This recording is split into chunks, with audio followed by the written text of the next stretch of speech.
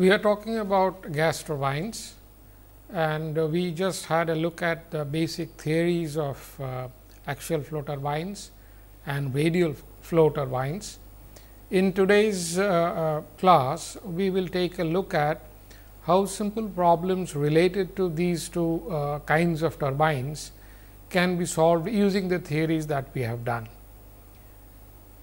So, I will probably uh, solve a couple of problems for you and then I will leave you with some problems for you to solve for yourselves using the gas turbine theory that we have done in the last uh, two or three lectures. Now, these problems are set out for you, so that one you can use the theory that uh, we have done in the last lectures and uh, secondly you get a feel of the numbers. In engineering it is extremely important that you not only understand the equations and the theories, that you also get a feel of the numbers. What are the possible correct numbers under various situations for various parameters that feel is extremely important for good engineers. So, hopefully, in today's class I will be able to expose to you some of these engineering uh, quantitative issues and you get a feel for the numbers. So, in today's class we do the tutorials, solved examples and tutorial problems on axial and radial flow turbines. Now, the radial and axial flow turbine that we have done, we know are uh, slightly different kinds of uh, turbines, even though, though, they do the same kind of job basically that they uh, perform work. So, first we will take on the axial flow turbines and take a look at a problem uh, which represents a typical axial flow turbine problem and then we will discuss some of the tutorial problems that you could possibly attack for yourselves and get a feel for the numbers. The first problem that we have is on axial flow turbine and this problem statement uh, uh, shows that if you have a cooled axial flow turbine, now we have discussed the cooling technology of axial flow turbines. So, if we and most of the modern axial flow turbines do tend to be cooled turbines, unless it happens to be the last stage of a multi-stage turbine. So, let us take a look at a typical cooled axial flow turbine problem and the problem shows that it has properties such that its uh, entry temperature is 1780 K and entry pressure is uh, 1.4 megapascals and carries a mass flow of 40 kgs per second, uh, which means it is a medium sized engine. The mean radius data uh, that means, the mean is between the hub and the tip of a blade. So, the mean there is given as Mach number, the entry absolute Mach number is given as 0.3. The exit from the stator is given as 1.15, which means the flow has indeed gone a little supersonic at the exit of the stator and the rotational speed at this mean radius is 400 meters per second. T 03 that is the exit temperature from the turbine is given as 1550 K and some simplistic uh, uh, angular parameters are prescribed here that is alpha 1 is equal to alpha 3 is equal to 0 degree that means flow is coming in and going out axially. Uh, that of course, simplifies the problem, but it is also reasonably realistic. So, it is not just ideally simplified, but it, it does represent a realistic flow situation. And then at the uh, mean the radius is 0.4 meters and as I mentioned it represents uh, probably a medium sized uh, engine. The axial flow velocity ratio across the rotor C A 2 by C A 3 uh, is equal to 1. That means, the actual velocity across the rotor is conserved. Uh, this is again a simplifying assumption, but also a reasonably realistic assumption. It is not very ideal, it is a realistic assumption. The loss coefficients through the rotor uh, and the stator, uh, the stator is of course, we have been calling it the nozzle. So, the loss coefficient across the nozzle is given as 0.04 and that across the rotor is given as 0.08. So, these two are prescriptions, these numbers are realistic numbers and uh, represent a reasonably real compressor uh, turbine situation. Given other uh, thermodynamic parameters, uh, the specific heat ratio uh, gamma is given as 1.3 and the gas constant R is given as 287 joules per kg K. Now, those are standard parameters and they have been prescribed for this problem also.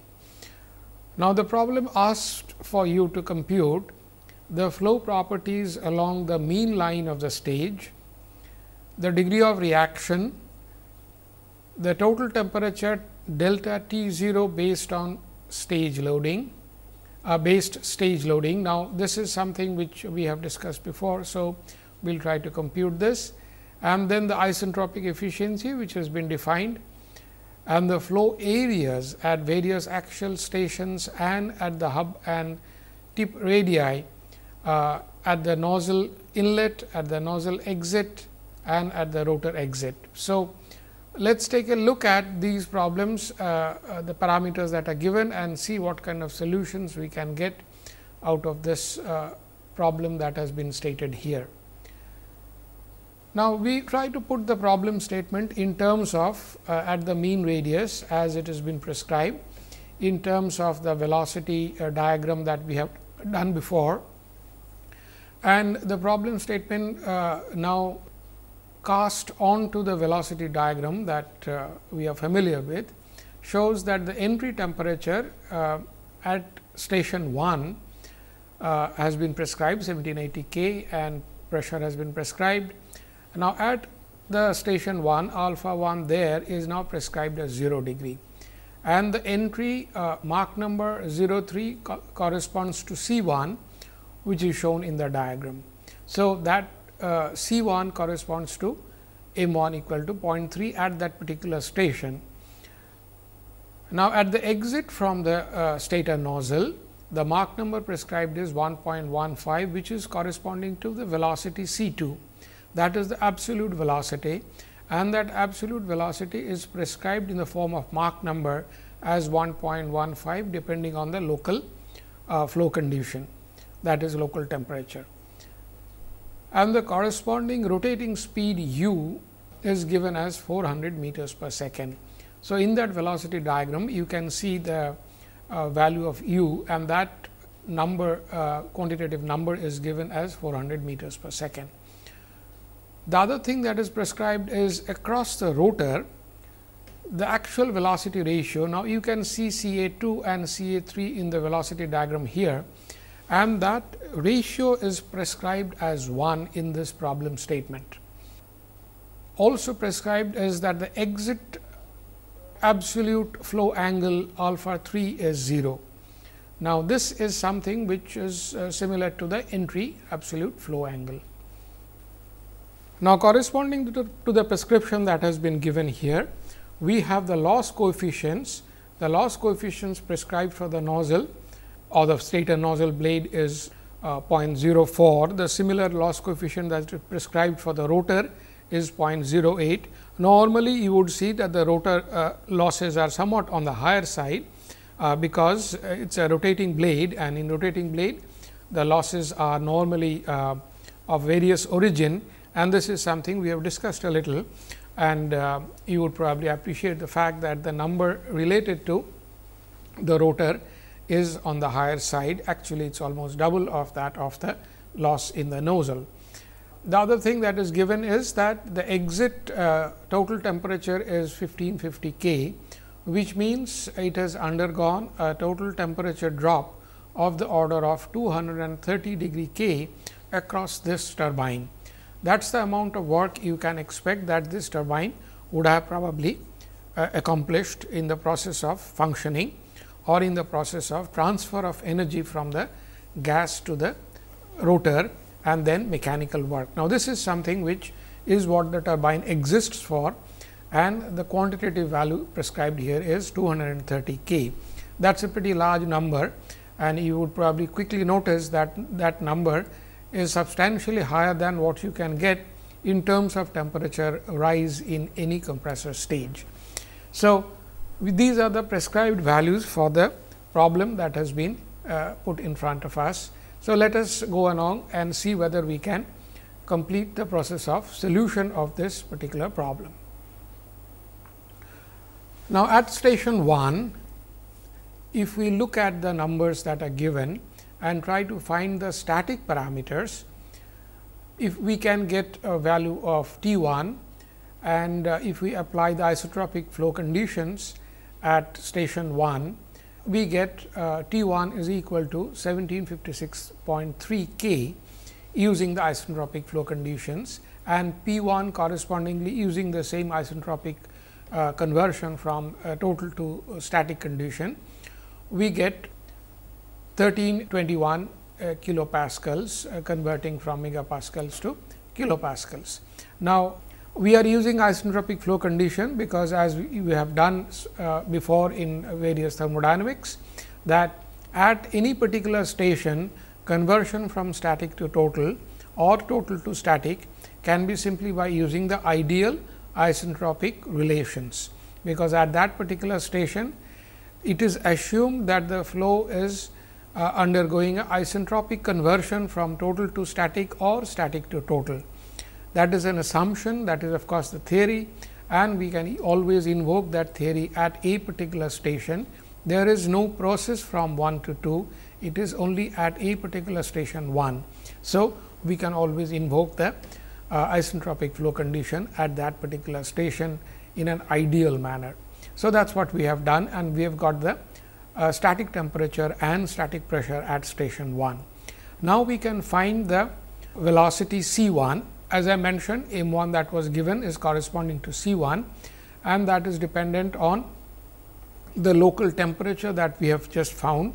And if we invoke the local temperature that has been just found, we get a velocity which is 242.8 meters per second uh, corresponding to Mach 0.3 that has been prescribed there. Now, since alpha 1 is given as 0, C 1 effectively becomes equal to C A 1 and correspondingly C W 1 would be 0. So, if you keep your eye on the velocity triangle, you would see that we are trying to solve all the parameters that are shown in the velocity triangle as far as possible. And the trick of solving such problems is that if you can find all the parameters that are shown in this velocity triangle, you would be able to calculate the performance of the turbine uh, completely and fully. So, one of the things that you may like to do while solving a problem is to uh, compute all the parameters that are shown in this velocity triangle. So, let us do that uh, and we found at station 1 C W 1 would be equal to 0. Correspondingly then at station 1 we can say that the area uh, A 1 would be equal to uh, the mass flow m dot gas uh, divided by the local uh, density rho 1 into uh, C A 1. Now, this of course, means that we are simply using the continuity condition at station 1 and simply using the continuity condition we can find out the area at station 1. You would notice that you would have to calculate the density rho 1 corresponding to T 1 and P 1 that we have just calculated. So, if you calculate uh, rho 1 and uh, plug in that value here, you would get an area that is uh, 0.0628 meter square uh, at station 1 that is at entry to the turbine stator nozzle blade. Now, applying the same isentropic uh, method of conversion from total to static, we can find the temperature at uh, station 2, uh, because through uh, the stator nozzle a lot of acceleration has taken place and the total temperature has remained constant, but static temperature has undergone a large amount of change. And that shows up here that the static temperature now is 1485.4 K substantially lower than 1756.3 K that we have found at station 1. So, that is a drop due to the large change from potential to kinetic energy through the stator nozzle. and correspondingly we find a C 2 using the same method again that is conversion from Mach number to velocity using the local temperature which we have found as 1485.5 and we get a velocity now corresponding to Mach 1.15 velocity of 856.1 meters per second. Now, this is a very high velocity jet and intended purpose of course, is that this would now be made to impinge on the rotor blade to make the rotor rotate. Now, as prescribed 4 percent of the kinetic head is lost in the uh, nozzle blade. The nozzle uh, loss coefficient was prescribed as 0.4 and that is corresponding to 4 percent of the kinetic head as per the definition of the loss coefficient and as a result of which the we can sort of uh, do a reverse engineering and back calculate and find that the ideal T 2 would have been T 2 prime would have been 1503.5 k and corresponding to that the ideal C 2 prime would have been 877 meters per second. Now, this is something we have discussed before in our lecture that through the nozzle because of the real flow situation, the actual velocity C 2 is often a little less than what could have been the ideal velocity C 2 prime. Now, this change from real to ideal is quite often uh, a situation that happens because you see at the end of the nozzle you are trying to achieve a sonic velocity. Sometimes as we see in this particular problem you are trying to achieve a slightly supersonic velocity. So, what happens is you end up getting a little less than what you prescribed or what you designed for and hence the loss coefficient comes into the picture over here and this slight loss of uh, performance through the stator nozzle needs to be accurately factored in in your calculation. So, that you know exactly how much you are losing in terms of the acceleration that the stator nozzle is expected to achieve. So, that is what we see here that the ideal velocity could have been a little more through the stator nozzle and as it happens we are getting a little less of the order of almost uh, 20 meters per second 21 meters per second. Now, this is something what every turbine designer needs to keep an eye on. Now, from the isentropic loss, we can also find the value of static pressure P 2 at the end of stator nozzle. And uh, since P 02 is kind of only factors in the 4 percent loss, it tells us that uh, P 2 would be 625.5 kilopascals. Now, at uh, station 3, it is given that uh, exit angle is 0, alpha 3 is 0 and at station 3 it is uh, prescribed that alpha 2 would be uh, corresponding to sine inverse psi into u divided by uh, C 2. Now, this is from the definition of the work done which we have done before that is psi is equal to uh, delta of enthalpy change uh, across the stage divided by u square which is the rotating speed. So, it is used as a normalizing parameter and this is a definition of blade loading or the stage loading quite often used in case of turbines and also sometimes in case of compressors. Now, if you do that you get a parameter that is uh, C A by u into tan alpha 2 from which we wrote down as above that you can get a parameter in terms of alpha 2. Now, uh, C p of course, from thermodynamics we know is gamma r divided by gamma minus 1 and uh, if we plug in all those values the stage loading psi uh, can be computed as uh, 1.7878 and this is of course uh, often as a non-dimensional parameter and it, this number is often an indication of the amount of loading that you can uh, prescribe for a particular stage. Higher this number is, higher the stage is being asked to perform.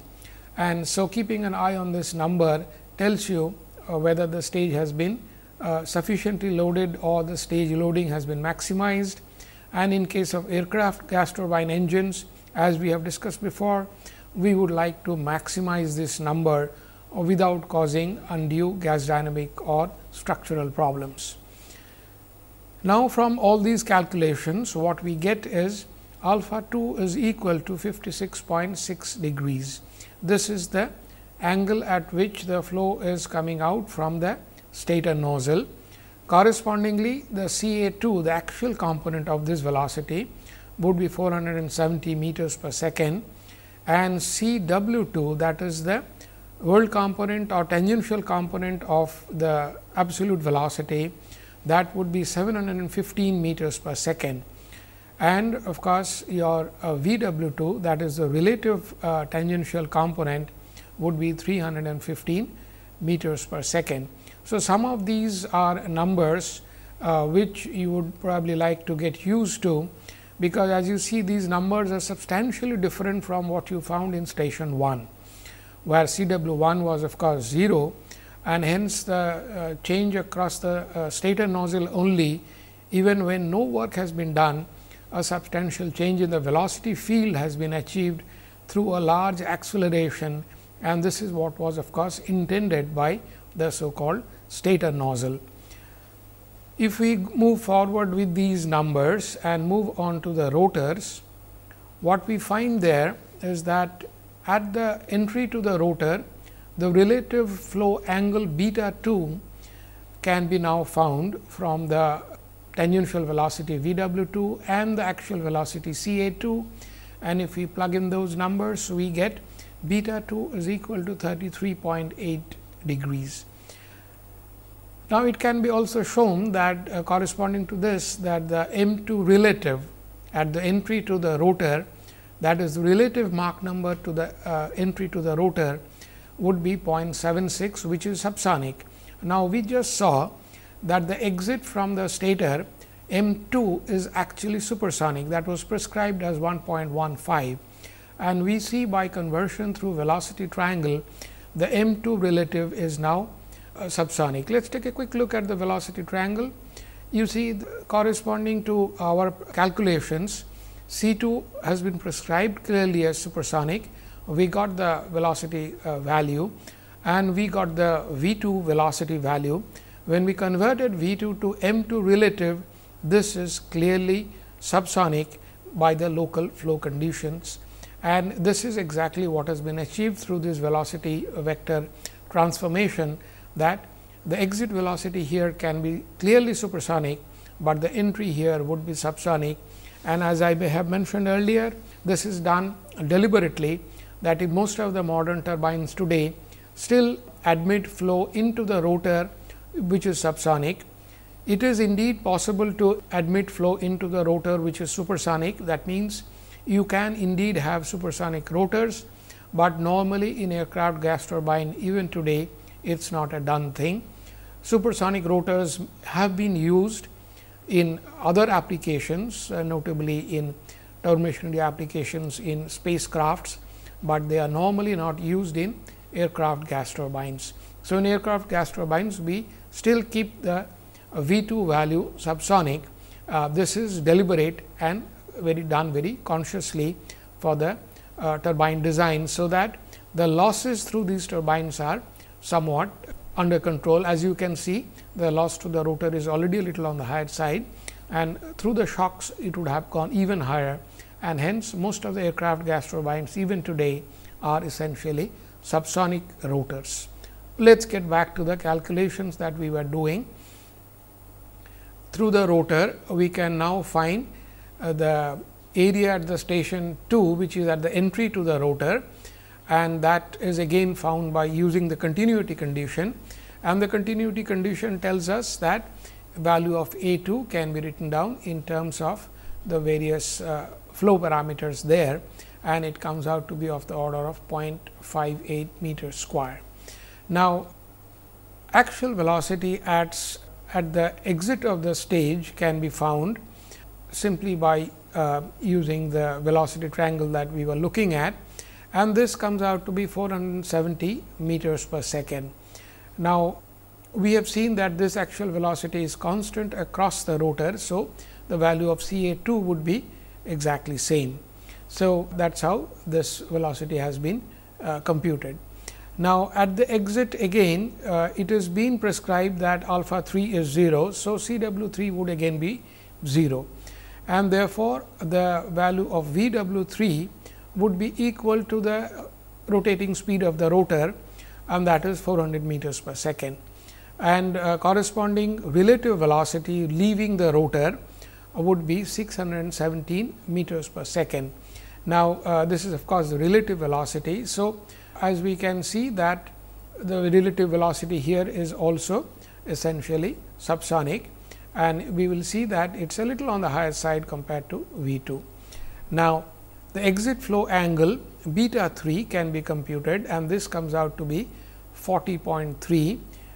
This is invoking the fact that alpha 3 is indeed 0 and static temperature at station 3 now can be computed again invoking the isentropic laws as we have done in station 1 and 2 and if we do that we find the temperature to be 1461 K. Uh, the total temperature of course, was prescribed. So, it is uh, easy to use the isentropic laws and find the static temperature that is 1461 K and the sonic speed at that particular station is 738.3 meters per second and uh, we can very well see that this velocity V 3 would be subsonic. So, the exit velocity from the rotor also is subsonic. So, both the entry and the exit velocity from the rotor are deliberately kept subsonic to avoid shock losses, which uh, again would uh, reduce the efficiency of the turbine, uh, increase the losses and reduce the efficiency. And most of the designers, present day designers are extremely sensitive to uh, efficiency of the turbines and hence they try to keep the turbines uh, subsonic even today. And the other thing is most of the work done is being accomplished higher level of work done is being accomplished by increasing the turbine entry temperature. And this increase of turbine entry temperature is quite often the focus of attention of modern research and more and more cooling technologies applied. And we have prescribed that this particular problem actually applies uh, blade cooling and that is how that high entry temperature was admitted. And hence we see that we uh, have a turbine here which is a cool turbine the entry temperature is very high and that allows the designer to keep the rotors subsonic and hence the rotors are not under uh, any uh, compulsion to go supersonic to get more work done. Rotors can be kept subsonic. Another reason why modern designers would like to keep the rotors subsonic is because many of the modern rotors are also subjected to cooling technology. Uh, some of these cooling technologies as we have seen are extremely intricate and if we have supersonic flow over them, uh, it will be an extremely complicated fluid mechanics situation and most of the turbine designers would like to avoid that kind of complication in their turbine design, because it would impact on the efficiency or aerothermodynamic efficiency or what we call isentropic efficiency of the turbine quite adversely. So, as we see by the numbers that they are deliberately kept subsonic. Let us proceed with this problem and uh, see whether we can complete it. The degree of reaction that we have prescribed before as we see now if it is computed using all the parameters comes out to be only 0.106 and as we have discussed in many of the modern turbines the degree of reaction values are of that order much lower compared to what you have done probably in your compressor chapter where the degree of reaction values are uh, somewhat much higher than these numbers. So, you got to get the feel of these numbers that degree of reaction in turbine is substantially lower than that of compressors and these are the numbers you would need to get used to. The Mach number at the exit then the absolute Mach number is 0.6375 and the relative exit Mach number as we just saw is subsonic and it is 0.836. It is uh, slightly higher than what it came in with into the rotor. So, the rotor is clearly a reaction turbine. It has accelerated the flow a little and has produced a reaction and hence it is a reaction turbine. The relative total temperature and pressure at the exit can also be computed to complete uh, the calculation and we get T 03 relative as 1614 K and P 02 relative as 897.3 uh, kilopascals by applying the rotor loss. I need to mention here very clearly here that the rotor loss coefficient that was prescribed should be applied across the rotor on a relative frame. So, the 8 percent loss that was prescribed should be applied to P 02 relative and if you do that you get P 03 relative at as 872.7 kilopascals. Now, this is something you need to again very clearly understand that the loss prescription that is normally given should be applied in the absolute scale in the stator nozzle and should be applied in the relative uh, frame in the rotor and when you are calculating the pressure losses respectively across these two rows of blades. So, losses in the rotor take place in the relative frame, in the stator it take, takes place in the absolute frame. So, you need to take uh, note of this and do your future problems accordingly.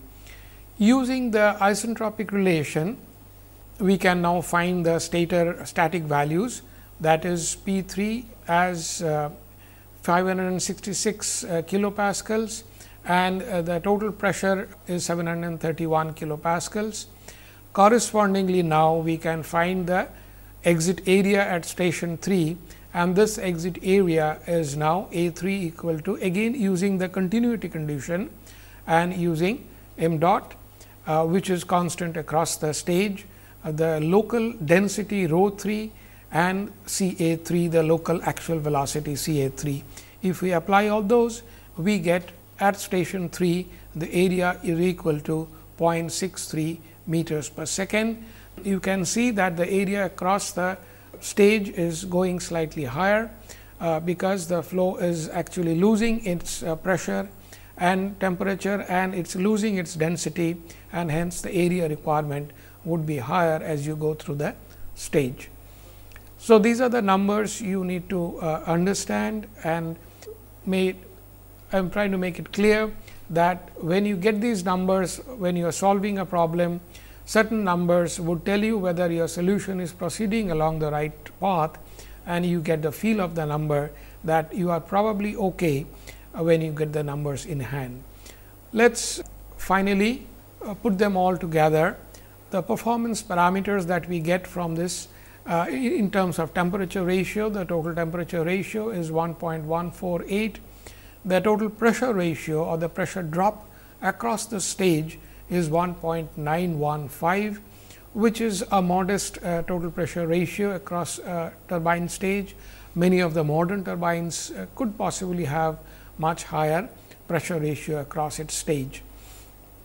The efficiency of this particular turbine can now be computed using the uh, thermodynamic uh, laws that we have done before and it simply is 92.9 percent, which is a fairly good efficiency many of the modern uh, turbines can have efficiencies slightly higher than these, but 92.9 nearly 93 percent is definitely a good efficiency. At each of these stations the blade height can also be calculated simply using the geometry at that particular station. That is h i equal to a i divided by twice pi or mean at that particular station. And if we put them all in table in station 1, 2 and 3, we get the areas uh, which we have computed before. And uh, these areas are now shown over here. And then uh, across the rotor as you can see there has been a increase in area and across the stage indeed there has been a slight increase in area. The height as you can see again has changed across the stations Correspondingly, the tip radius and the hub radius can be found using the geometry that is available with us. So, this table gives us an idea about the changes that typically occur across uh, a stator and the rotor. This may vary from one kind of turbine to another. Uh, if you go from HP to LP, these variations would be slightly different If you go across to the last stage of a LP, it will be again slightly different. It depends on the turbine design and as I just mentioned that the pressure ratio 1.95915 is a modest pressure ratio. Many of the modern turbines could indeed have pressure ratios uh, quite higher than this and if they are then all the values that you see here in terms of area, height and the tip radius and so on would indeed change from station 1 to 2 to 3. So, it depends on turbine and every turbine would have unique such numbers, except that if you get the feel of the numbers, you would know whether the numbers are coming out in a correct trend and that trend is what you can get the feel of when you are solving a problem, but the numbers for every turbine would be quite different from each other. What I will do now is I will prescribe a few problems for you to solve for yourself uh, using the methodology that we have just solved the problem. So, the first problem is actually that of an impulse turbine, where reaction is 0. And if we do that, we prescribe that it has an entry pressure of 414 kilopascals, static pressure of 207 um, and exit pressure of P 0 from the stator nozzle of 400 kilopascals. So, it has lost about 14 kilopascals across the stator nozzle. The exit static pressure from the whole stage is given as 200 kilopascals. Now, when operating with a rotating speed u mean at the mean of the uh, rotor blade 291 meters per second. The entry temperature given is a modest 1100 K and alpha 2 that is exit from the stator nozzle is prescribed as 70 degrees that is from the exit of the stator nozzle. Again it is assumed or prescribed that C 1 that is entry velocity is equal to the C 3 which is the exit velocity from the stage. What is asked for is compute the total to total efficiency of this particular stage prescribed are the values of Cp and gamma, uh, which are the normal values. The Cp is 1 1148 kgs per kilojoules uh, kg per k and uh, gamma is 1.333. So, if you use those numbers, you would probably get an answer close to 91 percent as efficiency of this stage. Uh, I hope you can sit down and solve the problem using the method that we have adopted before. Let us go on to the next problem, which uh, corresponds actually now to not a re, uh, impulse turbine. Uh, Let us look at the problem and we will see that the axial velocity as prescribed through the axial turbine is held constant by design. That means, C A 1 is equal to C A 2 is equal to C A 3 and this entry and exit velocities are also axial. That means, C A 1 is equal to C 1 C A 3 is equal to C 3. It is a simplified problem and the flow coefficient that is C A by u through the rotor is 0.6. Now, if you do that the gas leaves the nozzle with alpha 2 equal to 68.2 that is at the exit of the stator nozzle.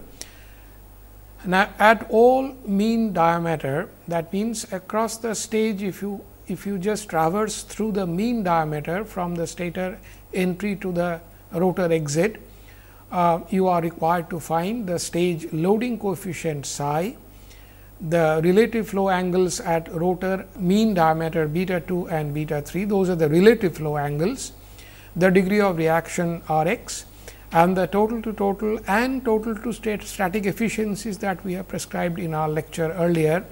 And you are required to find both the efficiencies and the answers given are that your stage loading coefficient is 1.5, um, the relative flow angles are 40 and 59 degrees, the degree of reaction is 0.25 and the two efficiencies the total efficiency is 90.5 and the total to static efficiency is 81.6. As we have discussed during the lecture, the total to static uh, efficiency is normally lower than the total to total to total efficiency. So, these are the answers you would get by solving the second problem. Let us look at the third problem.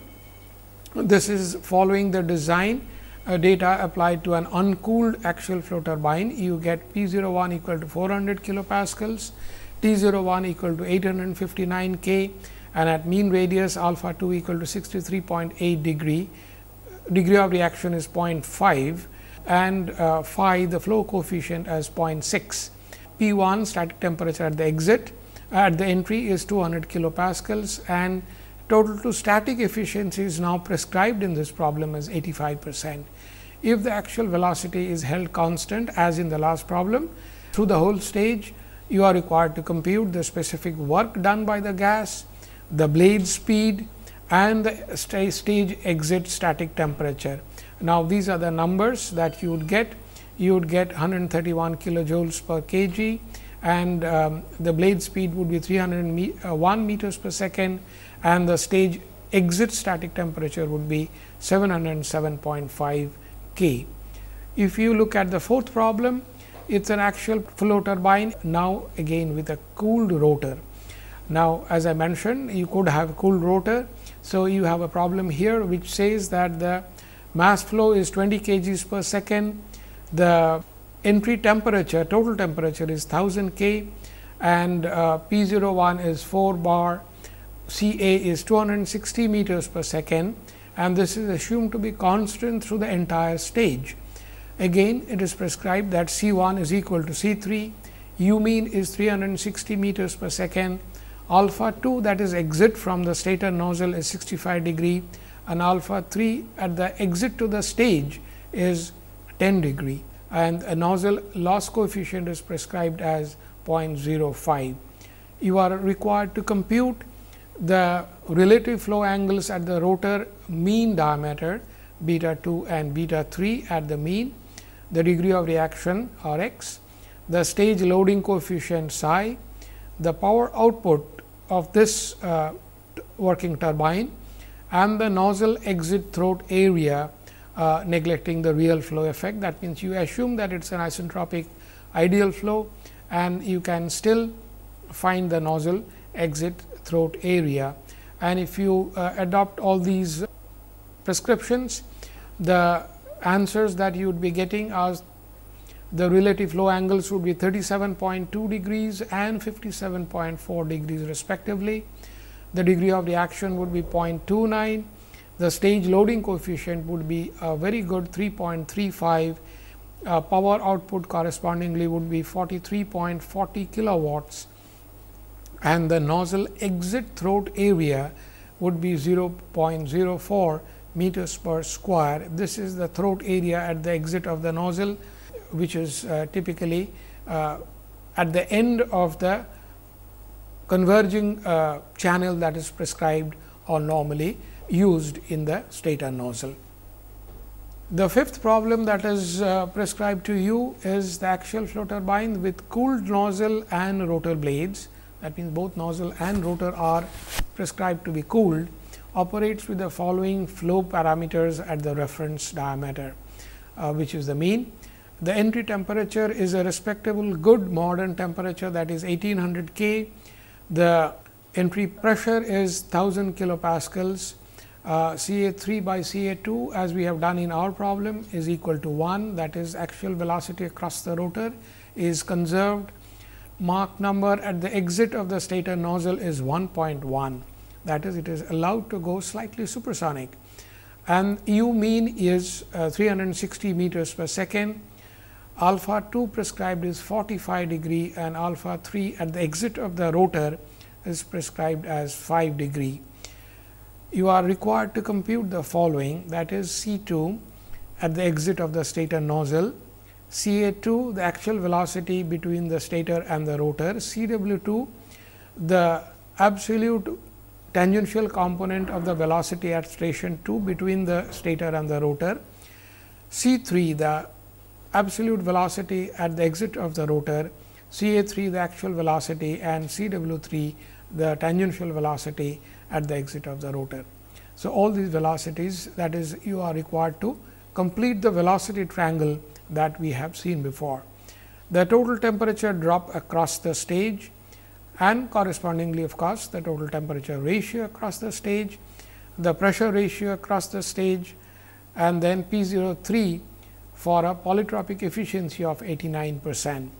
And if you adopt all the prescriptions that are given and the velocities that are uh, and other parameter that are asked for, you get those numbers. The velocities are 830 meters per second, 585 meters per second and uh, 587 meters per second for C 3 and 585 meters per second for C A 3 and C W 3.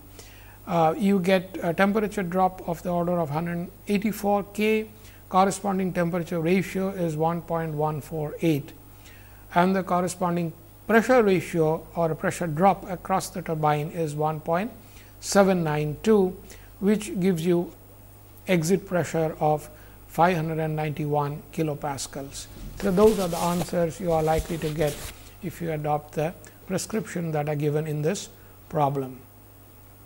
Let us now take a look at a problem of radial flow turbine. This radial flow turbine uh, we, which we have done in the last class using the simple theories that we have done in the last class, we can try to solve this problem.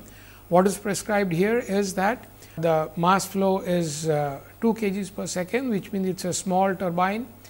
The entry pressure is 400 kilopascals. The entry temperature is 1100 K and the entry pressure uh, undergoes a 1 percent loss. That means, the pressure at the exit of the stator nozzle is 0.99 times P 01. The nozzle exit angle alpha 2 is 70 degrees the polytropic efficiency is prescribed as 0.85 for the turbine. The rotor maximum diameter that is at the tip of the radial turbine is 0.4 meters. The radial flow entry into the rotor is prescribed and that is assumed to be or allowed to be assumed to be equal to the exit of the rotor which is CA through and it is supposed to be axial. So, the axial velocity at the exit is to be taken as equal to the radial velocity relative radial velocity at the entry to the rotor. The hub to tip radius ratio is 0.4 and T 03 at the exit is 935 K. The thermodynamic parameters prescribed here gamma equal to 1.33 r equal to 287 uh, 27 kilojoules per kg K and Cp as 1.158 kilojoules per kg K. The problem asked you to compute rotor tip speed, rotational speed and RPM of the rotor, the Mach number, velocities, the rotor width at the tip of the uh, rotor and T 02 relative.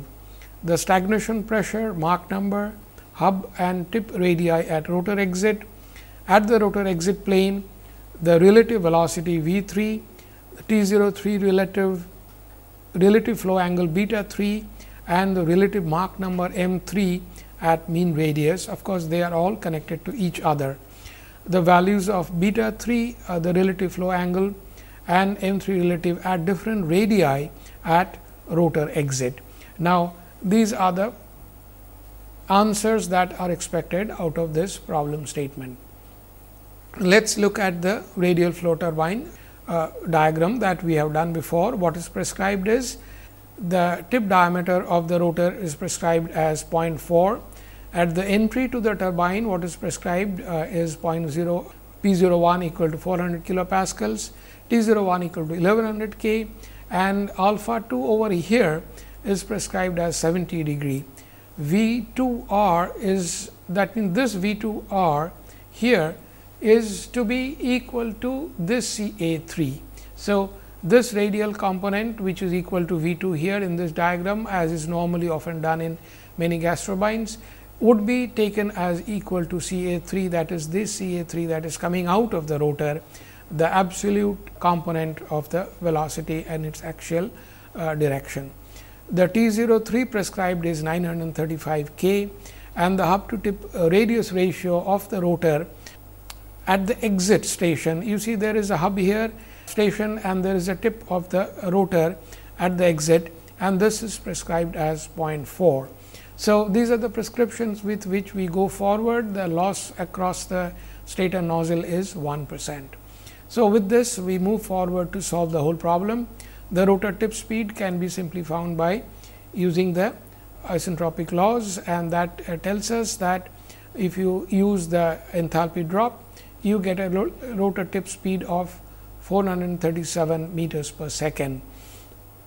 Now, this rotational speed then can be found simply by uh, dividing this u by uh, r and that gives us to 2185 radians per second corresponding to which you would get the RPM equal to 20,870 RPM. So, as you can see here a typical radial turbine would be running at very high RPM compared to an axial flow turbine. The corresponding at the rotor tip, the value of C 2 would be 465 meters per second uh, using the velocity triangles that we have just seen. The corresponding V 2 R would be 159 meters per second. The local speed of sound using the local temperature T 2, you have to do that and if you do that you get uh, T 2 equal to 707 k and corresponding sonic speed as 620 meters per second. And then the nozzle exit Mach number M 2 comes out to be 0.75. So, as you see here it is not sonic, it is still subsonic. The area at the rotor tip now is can be found using the continuity condition as we have always done before and this comes out to be point, uh, 0.0164. You have to find the local density and before that the local pressure. So, if you do that you get this area at station 2. Using this area at station 2 which is the entry to the rotor, you can find the width of the rotor tip uh, that is the actual width of the rotor tip uh, using the geometry. You can find the rotor tip uh, width to be 0.013 meters this is simple geometry. And then you can find the relative total temperature using the flow condition that we have used before. That is T 02 you take out the uh, absolute flow uh, kinetic energy and plug in the relative kinetic energy. And if you do that the T 02 relative is 1017 1017 K. The expansion ratio of the turbine at this operating point using the prescribed polytropic efficiency can be found by using the relation that we have done before and it gives you a value of 2.16, uh, which of course gives us a P 03 of 185 kilopascals. Now, given that uh, V 2 R is equal to C A 3 uh, which would be then equal to 159 meters per uh, second and this of course is same as uh, V 3 that we can therefore get M 3 relative that is the relative Mach number at the exit of the uh, rotor as 0.267 you would of course need to find T 3 over there. So, which is uh, taken to be constant from root to tip uh, at the rotor exit. Uh, now, at station 3, A 3 uh, can be found as uh, using the continuity condition as m dot divided by rho 3 into C A 3 and this yields rotor exit area to be 0.02363 meters square. So, that is the area you would get at the exit of the uh, radial turbine rotor at the rotor exit area, um, if we find the radius using the area that we have found, we get the tip area using 0.4 as the ratio, uh, tip radius to be 0.0946 meters and uh, hub radius to be 0.378 meters. Uh, and hence, the mean radius would be 0.6066624 meters corresponding to which they are uh, C w 3 the tangential velocity uh, which is equal to u 3 uh, would be 144.8 meters per second. The corresponding velocity triangle at the rotor exit would yield that C 3 at the mean of the rotor exit between that is mean between the hub and the tip of the rotor exit is 215 meters per second and the T 03 at uh, that mean would be 944 k. The corresponding mean Mach number would can be now computed and you would get a value of 0.362 as the mean Mach number at the exit. The corresponding exit flow angle would be 42.3. The radial variation of these two parameters that is beta 3 and m 3 relative can now be found and Mach number and the exit flow angles go up with radius in a marginally non-linear manner. So, let us look at this solution in a graphical manner. Uh, beta 3 is uh, shown over here and m 3 relative on the other y axis and the change of radius across as we can see m 3 varies along this uh, line uh, path and beta 3 varies in a slightly different manner. Both of them of course, going up uh, from hub to the tip of the exit of the turbine. So, this is what the solution of a radial flow turbine is. I leave you with a tutorial problem which you can solve on your own. The radial turbine problem prescribed here is that the operating point data are given to you. P 01 is 699 kilopascals, T 01 equal to 1145 K. The prescribed nozzle exit uh, pressure is 527.2 kilopascals and the nozzle exit temperature is 1029 K. The stage exit static pressure is given as 384.7 kilopascals and static temperature there is 914.5 K. The T 03 value correspondingly is prescribed as 924.7 K. If it is given that the impeller exit area mean diameter to the uh, impeller tip diameter is chosen as 0.49 that is the ratio between tip and mean. The design RPM is prescribed as 24,000 RPM.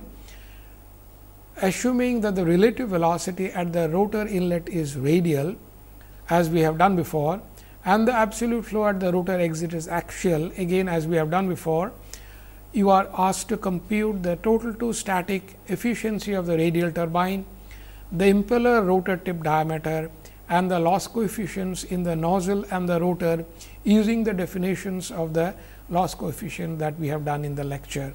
If you uh, do those things, you would get answers. The total to static efficiency would be 90.5, the impeller rotor tip diameter would be 0.27 uh, meters and uh, the loss coefficients would be for the nozzle uh, stator nozzle 0.05316 and for the rotor 0.2 as we see the rotor loss coefficient is substantially higher than that of nozzle loss coefficient. So, these are the numbers you would get and as you can see these numbers are quite different from that of axial flow turbine.